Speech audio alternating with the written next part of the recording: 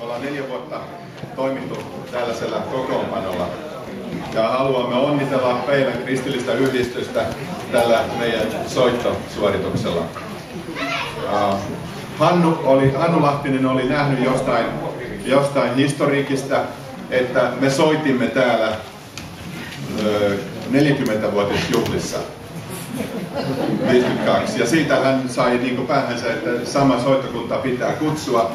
Ja niinpä hän kutsui meidät soittamaan sitten uudelleen, että me ollaan täällä niin vakio porukka ja käydään aina silloin tällöin soittamassa.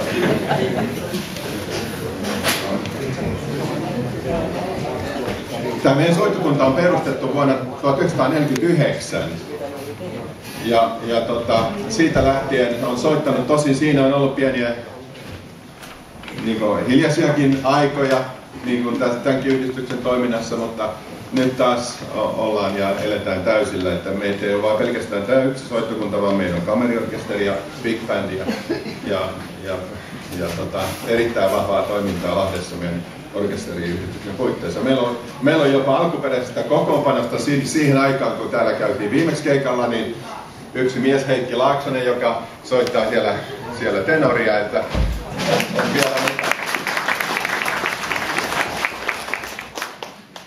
jatkuvuutta säilyy.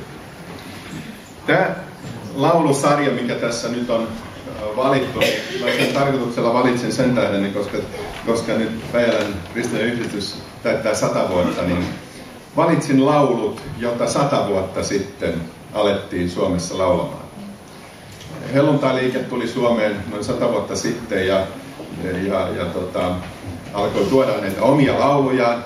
Ja samalla suomalaiset niin kuin herätyskristilliset piirit oli, alkoi säveltää uusia reippaita lauluja, nuorten lauluja. Ja silloin oli näitä nuorten lauluja.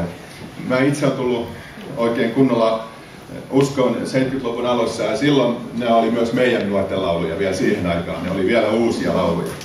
Ja nyt me tota, lauletaan näitä uusia lauluja. Ja me lauletaan nämä tota, aina kaksi säkeistöä jokaisesta, ettei ne kovin pitkästi, mutta lauletaan nämä kaikki viisi laulua. Siinä järjestyksessä, kun ne tässä on. Ja, ja tuota, näissä on vähän enemmän rytmiä kuin normaali virsissä. Sen takia nuoret ne silloin otti ja hyväksyi ja, ja tota, haluttiin. Ja niistä tehtiin sininen laulukirja, joka myöskin on satavuotinen sata vuotta täyttänyt laulukirja, eli nämä on näitä sinisen laulukirjan lauluja. No niin, ja ruvetaan laulamaan.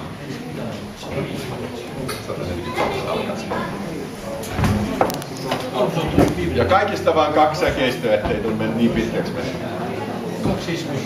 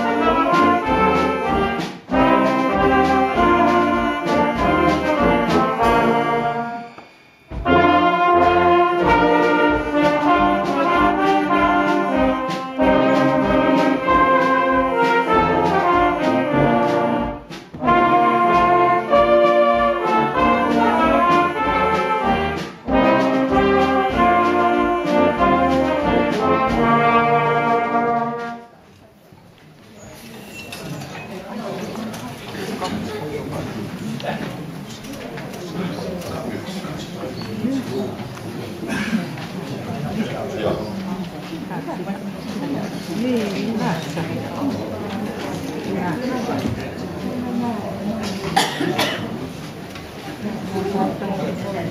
Seuraava on, Mä tahdon riemun laulaa.